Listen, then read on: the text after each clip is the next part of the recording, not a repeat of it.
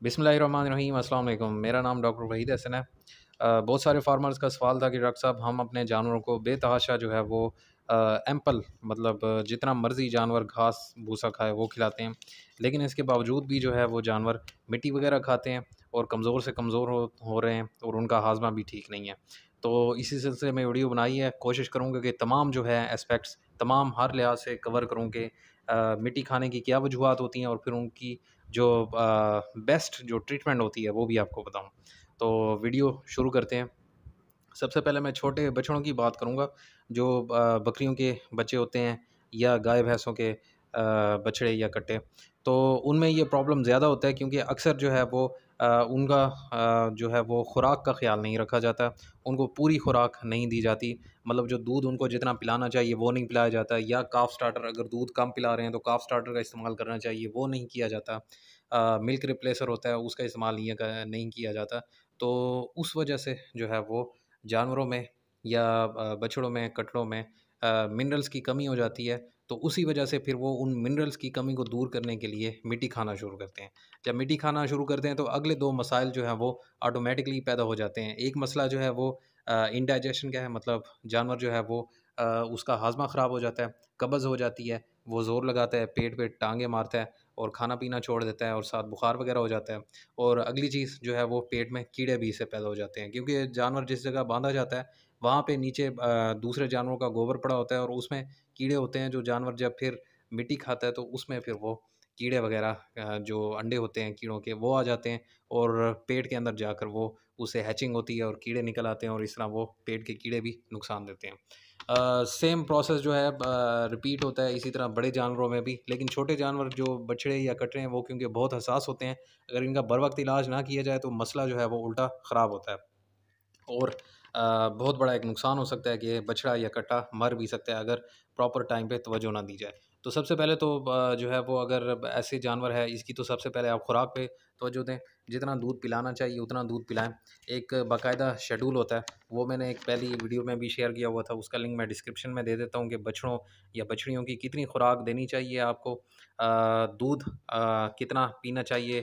اور ملک ریپلیسر کا اگر آپ استعمال کر رہے ہیں تو وہ کتنا دینا چاہیے؟ یہاں میں تھوڑا مختصر ہی آپ کو بتاؤں گا، باقی ڈیٹیلز اسی ویڈیو میں تقریباً دس فیصد جو ہے وہ باڈی ویٹ کا، اگر ایک مہینے سے کم عمر کا آپ کا بچہ ہے تو اسے کم از کم دس فیصد باڈی ویٹ کا دودھ پلانا چاہیے۔ مطلب اگر وہ چالیس کلو کا ہے تو آپ چار کلو اسے دودھ پلانا چاہیے۔ اگر آپ صرف دودھ پہ اسے پرورش کر رہے ہیں، اگر ملک ریپلیسر دے رہے ہیں تو پھر اس کی دودھ کی کوانٹٹی کم ہو جائے گی۔ اسی طرح پھر جب وہ دو مہینے کا ہوگا، دو مہینے سے کم عمر کا مطلب ایک مہینے سے دو مہینے کی عمر کے درمیان کا پھر سات پرسنٹ ہوتا ہے اور دو مہینے سے چار مہینے کی عمر کا جو ہوگا، اس کا باڈی ویٹ کا تین پرسنٹ آپ نے دودھ پلانا ہے۔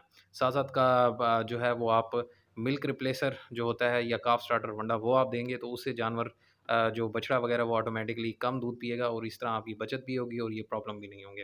تو منرل کا اس میں خیال کرنا جو ملک ریپلیسر یا کاف سٹارٹر جو آپ استعمال کریں اس میں منرلس ہونا ضروری ہے۔ اگر وہ آپ نہیں دے رہے تو اسے اچھی کمپنی کا جو ہے وہ منرل مکسچر لازمی دیں۔ منرل مکسچر آپ دودھ کے اندر بھی مکس کر سکتے ہیں یا علیحدہ گندم کے دلیے میں یا پانی کے اندر بھی مکس کر کے اسے جانور کو جو بچڑا یا کٹ رہا ہے اسے آپ پلا سکتے ہیں۔ اسے نہ صرف جو ہے وہ منرلس کی کمی دور ہونے کی وجہ سے وہ مٹی کھانا چھوڑ دے گا، بلکہ اور بھی جو مسائل ہوتے ہیں مٹی کھانے کی وجہ سے، اگلے جو مسائل جو میں نے ابھی تھوڑی دیر پہلے آپ کو بتائے ہیں، تو وہ بھی دور ہوں گے۔ اگر کسی جانور نے، کسی بچڑے یا کٹرے نے مٹی کھا لی ہے تو اس کا حل دو صورتوں میں ہوتا ہے۔ میں دیسی علاج آپ کو بتاؤں گا۔ ایک آپ کاسٹر آئل، وہ استعمال کر سکتے ہیں۔ اڑین کا تیل پنساریوں سے بھی مل جاتا ہے اور ویٹنری اسٹوروں سے بھی مل جاتا ہے۔ تو وہ آپ تقریباً دس سی سی جو ہے، وہ ایک بڑے بچڑے یا کٹے کو، جس کی عمر ایک مہینے سے کم ہے، اسے آپ پلا سکتے ہیں۔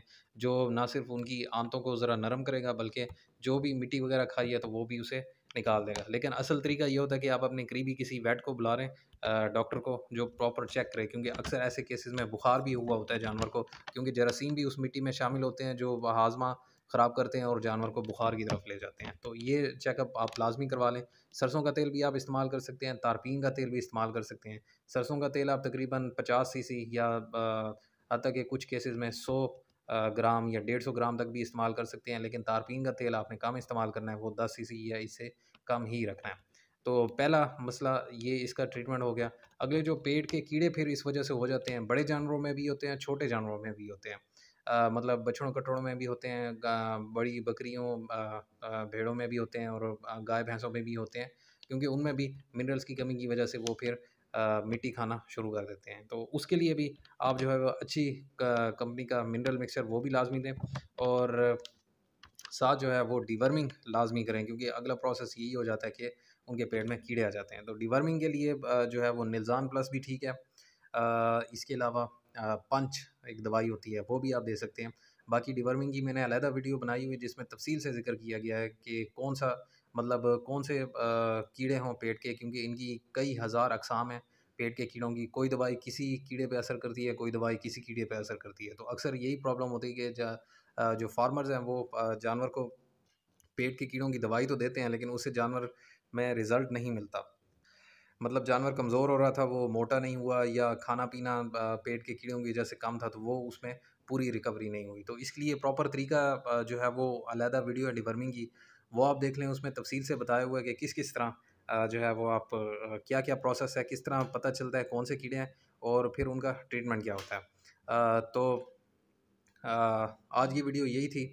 مزید بھی اگر آپ کے ذہن میں کوئی کویشچن ہے، کوئی سوال ہے، مزید بھی اگر کچھ پوچھنا چاہتے ہیں تو وہ آپ پوچھ سکتے ہیں۔ باقی وہ دو جو ویڈیوز میں نے بتائی ہیں، مزید بھی ویڈیو ڈسکرپشن میں ہیں، وہ آپ دیکھ لیں۔